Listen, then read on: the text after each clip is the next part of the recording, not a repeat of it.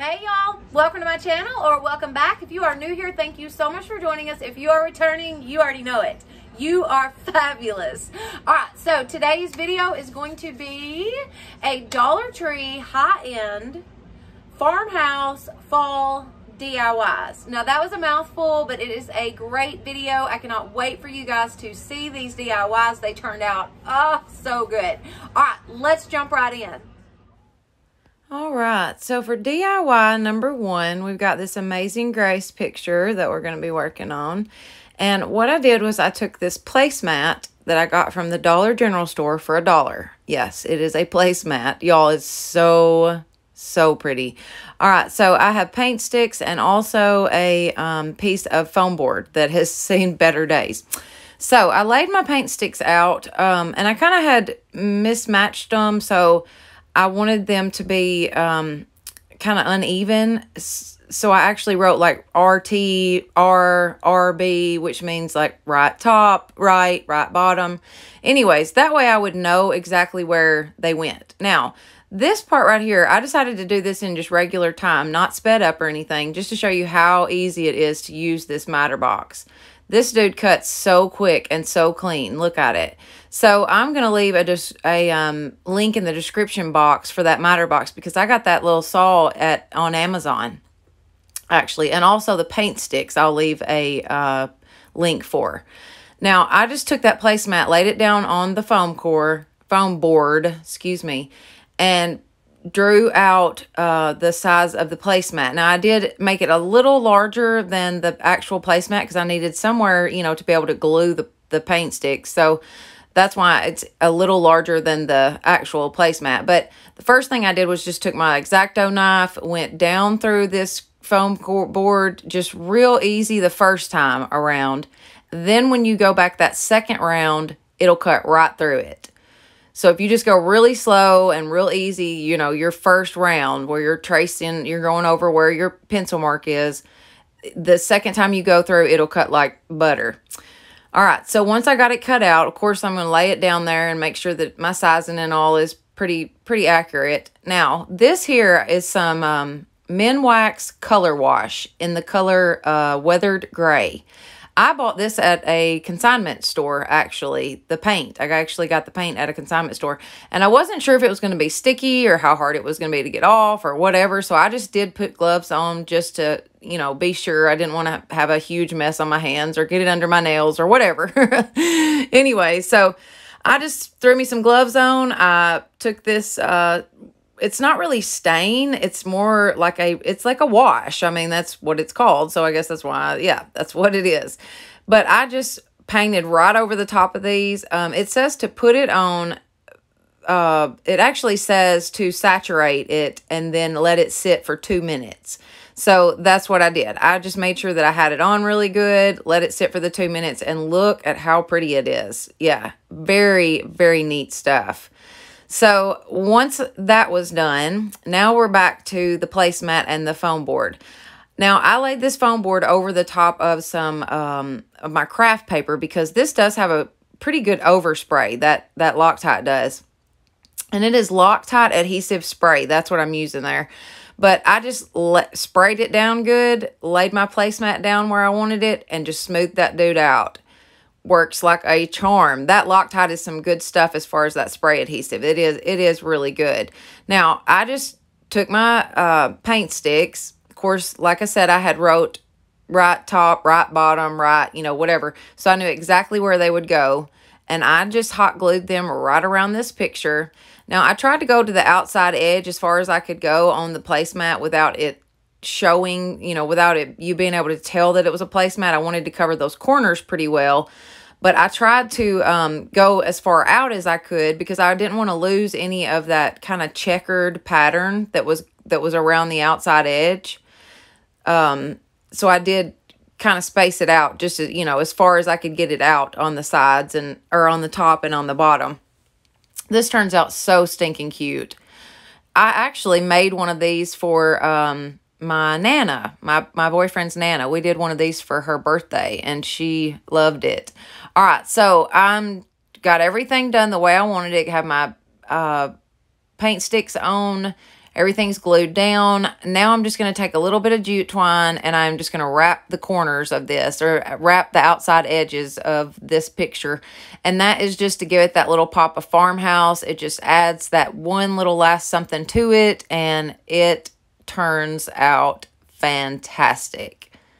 I love this. Check out that weathered gray. Is that not a beautiful color? What a beautiful color turned out so good and it matches that because the the writing and all is it looks black but it's actually like a dark dark navy so that weathered gray went great with it i thought this turned out fantastic one little thing I wanted to let y'all know. Okay, so my videos, for some reason, it's just a fluke, literally. Um, when I upload to YouTube, halfway through the video, my voice and the actual, my face, my mouth gets off. And it is so frustrating because everything's fine on my end. It looks perfect. The video is seamless. And then I upload and boom, it's off. So I don't know what's happening. I have no idea why it does that. Um, I don't know how to fix it. And I don't know. but I did want y'all to know that I am very aware of it and I'm working on it. I just don't even know where to start because I, I don't have the slightest clue how to fix it. But anyways, I do know it's happening and I will get it taken care of just as fast as I can. All right, back to these DIYs. Okay, so for DIY number two, this one is my favorite. This this turned out so, so stinking cute. All right, so this is this flooring um, or the wood is some flooring that I got from my best friend. She had new floors put down, and so she gave me a bunch of pieces of this old flooring that they had pulled up. Y'all, I have so many pieces of this, and it it is awesome. Like I was so excited to get this because there is so much stuff I can do with it. It just pops together. Like it literally just snaps together. So I just took this wood. Um, and I'm going to cut it down. Now, I tried to use that miter box for this, but it was a little too thick for it. So what I actually did was I just measured it off there. I started out with my miter saw, and then I changed over to my regular hand saw. Now, once I got it cut off the way that I wanted it, I'm going to take this Minwax Wood Effects. Y'all, this stuff is so neat. And I bought this at the consignment store also. Um, it's like it's definitely watery. Now you do have to be careful because you will splatter it everywhere. Because my first swip across there, I got it all over the place because it's so so thin. Um, but this is the neatest stuff. Like just to watch it work is is very cool. You put it on and then it it says um apply and then watch what happens. That's literally what the back of the can says. So it's it's really neat the way that it works. And this is also a weathered gray.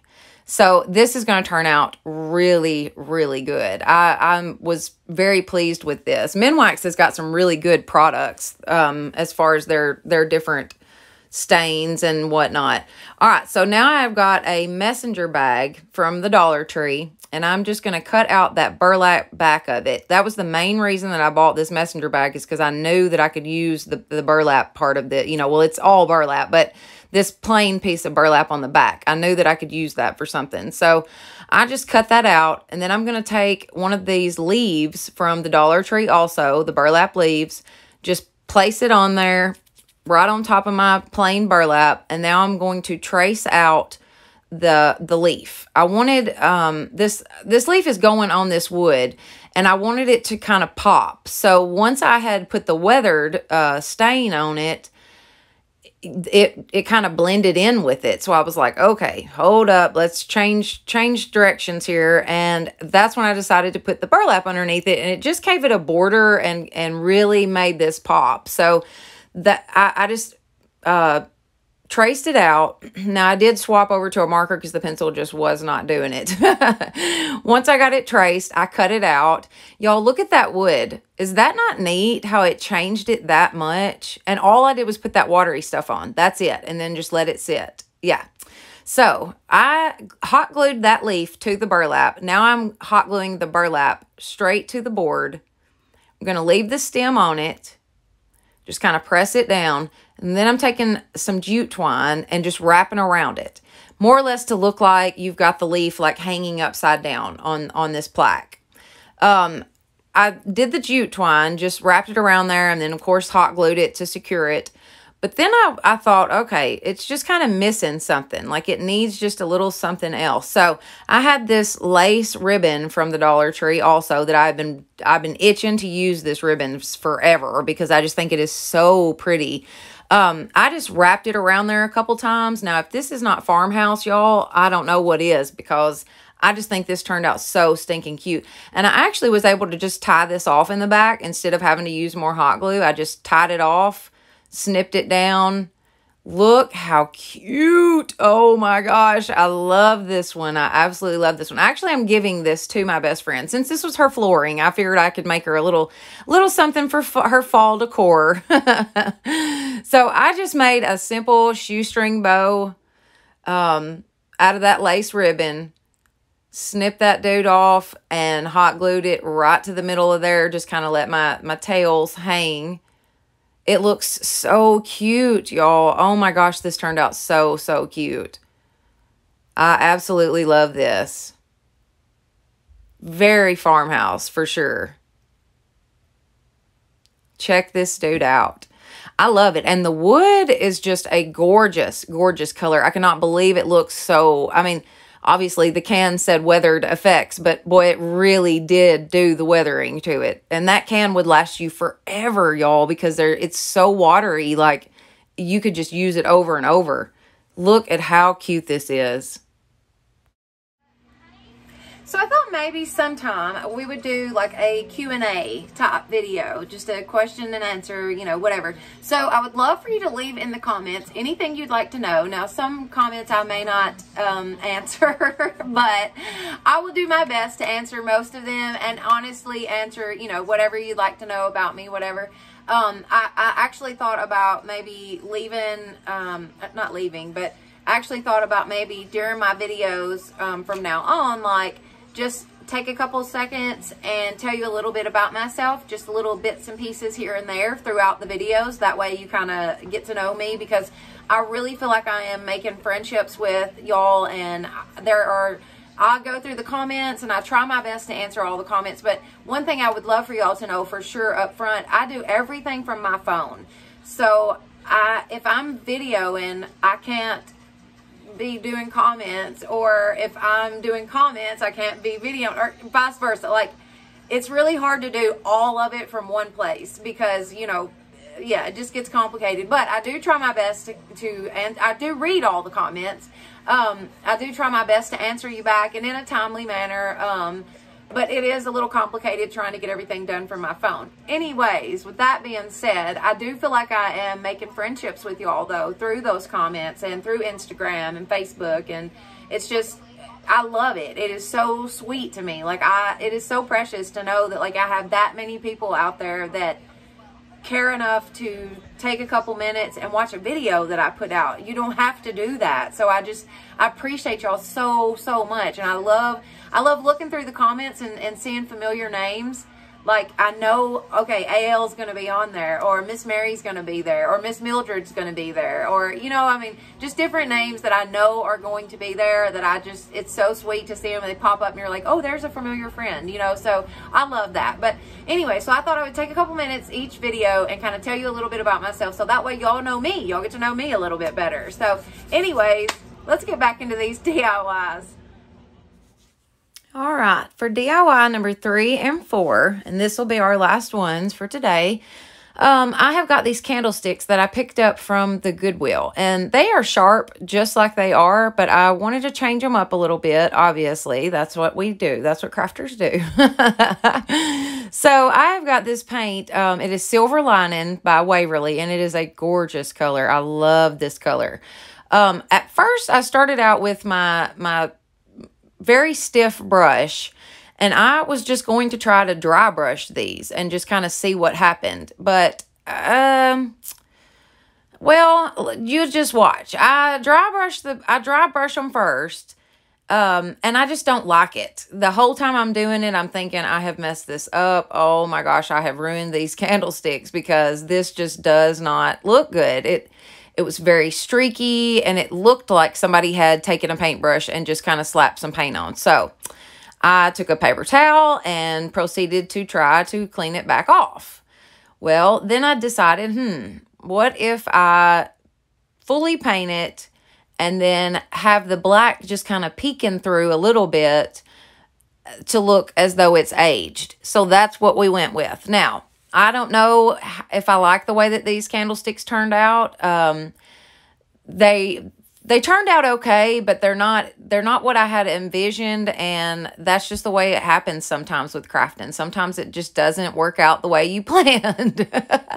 that's part of it, but it's just crafting. It's not the end of the world. It's just two candlesticks. So no big deal. No no foul in trying. I mean, it was it was worth trying. And I may do something else with them. I may I may spray paint these dudes back black. Who knows? But they they turned out for the most part. They're okay. Um let me know in the comments what you think about them. Should I have just spray painted them a fresh black coat or do you like them distressed like that? Let me know in the comments what you think about those. All right. Now, moving on. I have got this um, candle, LED candle that I got from the Dollar General store. Then I also have one of these leaves that we used in our last project. Uh, it came from Dollar Tree. And all I did was tie some twine around this dude, tie a little bow in the front, and that was it, y'all. That's how cute that is. Look at how fast you could take a regular LED candle that you probably have sitting around your house somewhere and make it fall decor. Like so simple, so stinking cute and so simple. And there you have it. I love this. I love the candle for sure. I, like I said, I'm on the fence about the candlesticks. I'm not totally sure if I like those or not, but they are they're they're okay. we'll just put it that way. Oh, I do think that this turned out beautiful though. It really did. Love that candle. So stinking cute. And just a final look at everything all together. I like to bring all of this together in the end in all of my videos just so that y'all can kind of see how how I place it and how I put it together. Um, I think it turned out great. I love that right there. That's my absolute favorite. The candlesticks, like I said, not totally sure about those, but the candle itself is gorgeous. That's such a cute, simple, cheap way to decorate for fall. And then this right here is just, it's exactly what it says. It's amazing. I love it. I think it is so stinking cute. I really think that all of this turned out great. I'm I'm so happy that y'all got to to see all this today. I hope y'all enjoyed this video. If you did, please give this video a thumbs up. Uh, don't forget to subscribe if you haven't already. I would love for you to share this video. And if anything, just enjoy your crafting. Do, you know, just go for it. Just absolutely go for it. All right, so I have got a Facebook page that is all about y'all, so be sure and check that out. It is at Blessed Beyond Measure Crafts. And then I also have an Instagram that I would love for you to check out, uh, follow me on. That would be awesome. That's a great place for us to connect. And it is also at Blessed Beyond Measure Crafts. Um, this was a fun video. I hope y'all enjoyed it and y'all have a blessed day.